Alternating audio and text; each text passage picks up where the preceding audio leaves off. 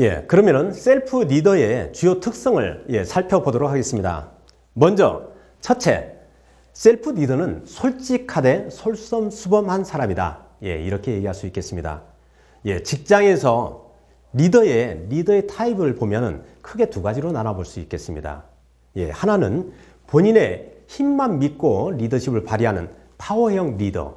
또 하나는 예, 같이 가는 리더. 바로 패밀리형 리더. 이렇게 두 가지로 나눠볼 수 있겠습니다.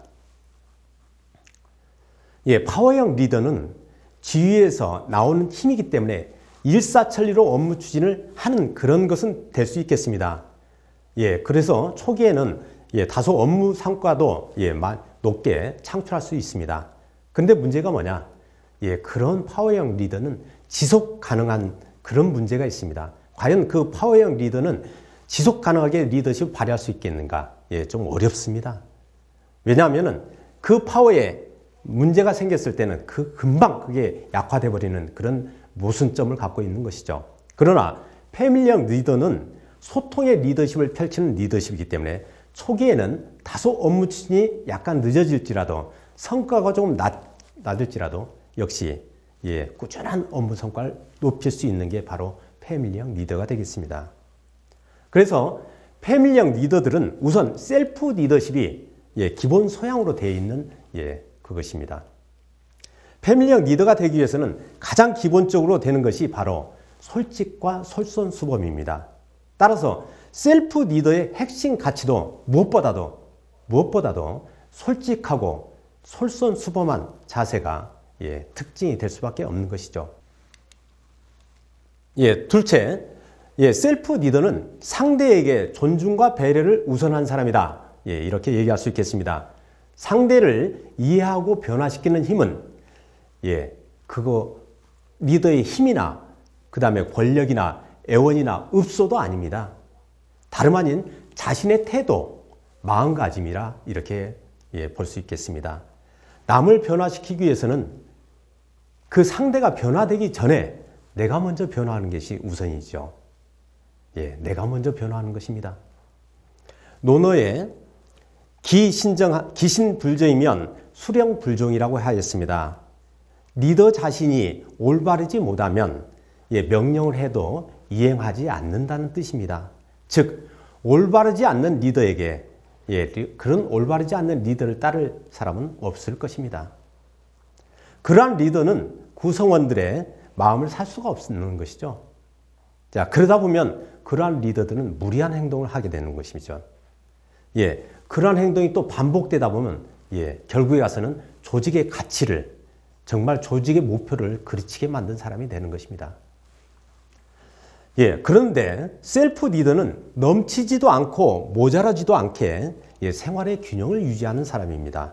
또 비전과 목표를 설정하고 끊임없이 배우고 성장하는 사람이 바로 셀프 리더가 되겠습니다. 항상 남에게는 겸손하고 또 자신에게는 신중한 자세를 요구하는 사람이 바로 셀프 리더입니다. 셀프 리더는 솜털처럼 가볍지도 않고 또 목석처럼 답답하지도 않는 즉 셀프 리더십을 예, 실천해가는 그런 사람을 셀프 리더라고 합니다. 예, 제가 어, 얼마 전에 신문 기사를 봤습니다. 예, 프로야구 기아 김기태 감독 얘기가 나온 기사였는데요. 예, 2017년 코리안 시리즈 야구 코리안 시리즈 우승을 이끈 김기태 감독 얘기가 나와 있습니다. 그 감독의 특징이 뭐냐? 예, 바로 선수들을 향한 배려와 존경심이었습니다. 예, 선수들한테 존경심이 나오니까 좀 이상하죠. 특히 운동선수에서. 예, 그렇지만 그 감독은 그걸 실천해 갔습니다. 바로 선수들에게 먼저 다가가서 90도 인사를 한다고 합니다. 예, 또 더가웃에 들어온 선수들에게 항상 하이파이브를 하면서 예, 서로 공감을 하고 예, 같이 예, 서로 감정을 느낀다고 합니다. 그리고 특히 경기 전에는 상대 선수들이 그 김기태 감독을 찾아와서 예, 응석을 부리면서 예, 존경을 표시하기도 한답니다. 예, 바로 김기태 감독으로 보면 예, 바로 살아있는 셀프 리더의 전형 아닌가 이렇게 기사를 보고 예, 느껴졌습니다. 예, 셋째, 셀프 리더는 본인 스스로가 셀프 파워를 만들어내는 사람이다. 이렇게 얘기 드릴 수 있겠습니다. 자, 먼저 셀프 파워를 생성, 셀프 파워의 생성 원리를 피드백 루프 관점으로 한번 분석해 봤습니다. 예. 먼저 셀프 리더십이 증진되면은 자연히 자존감이 향상되게 되어 있습니다. 그러에 따라서 동료나 또 주변 사람들에게 긍정 심리를 작용하게 만드는 것이죠. 예. 그에 따라서 조직 분위기는 향상될 수밖에 없는 것입니다. 조직 분위기가 상, 향상됨에 따라서 조직 성과가 상, 창출되고 그리고 또 기업이 성장됩니다. 그에 따라서 기업은 또 종업원들에게 보상을 시행하게 되는 것이죠. 예. 또 종업원들의 만족도가 증가하고 역시 행복이 증가, 행복이 지수가 증가할 것입니다. 역시 구성원들의 삶의 질이 향상될 수밖에 없죠. 바로 거기에서 셀프 파워가 생성되는 것입니다. 바로 이게 지금 말씀드리는 게 이 구조가 셀프 리더십의 선순환 사이클 구조가 되는 것입니다. 일반적으로 우리들은 우리 모두는 남으로부터 코칭과 피드백을 받는 그거에 익숙해져 있습니다. 그래서 본인에게 스스로 코칭과 피드백을 받기란 매우 어렵습니다. 왜냐? 필연적으로 자기 자신한테는 예, 판단에 오류가 생기기 때문에 그렇습니다. 예, 그러나 셀프 리더십을 향상시키기 위해서는 예, 먼저 예, 본인을 스스로 점검해보고 또 재조정해보는 셀프 피드백 그런 과정이 반드시 필요한 것입니다. 예.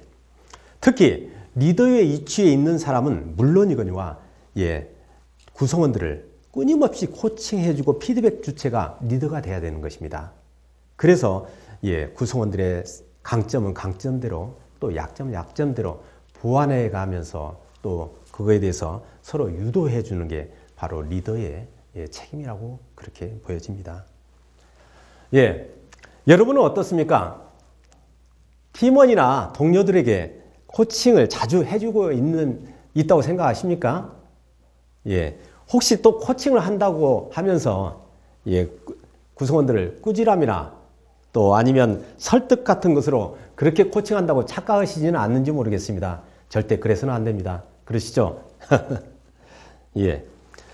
앞에서 말한 셀프 파워의 피드백 루프는 긍정적인 사고를 유발하게 되는 것입니다. 따라서 자존감을 향상시키는 것이죠. 예, 역시 셀프 리더십을 셀프 리더십의 역량을 최대화시키는 예, 구조입니다. 여러분들을 마음속에도 잠, 여러분들 마음속에 잠재되어 있는 셀프 파워를 끄집어내서 예, 존경받는 리더 그리고 행복한 삶의 가치를 예, 발휘하시기 바라겠습니다. 네 번째, 셀프 리더는 비전과 희망을 노래하는 사람이다. 예, 그렇습니다.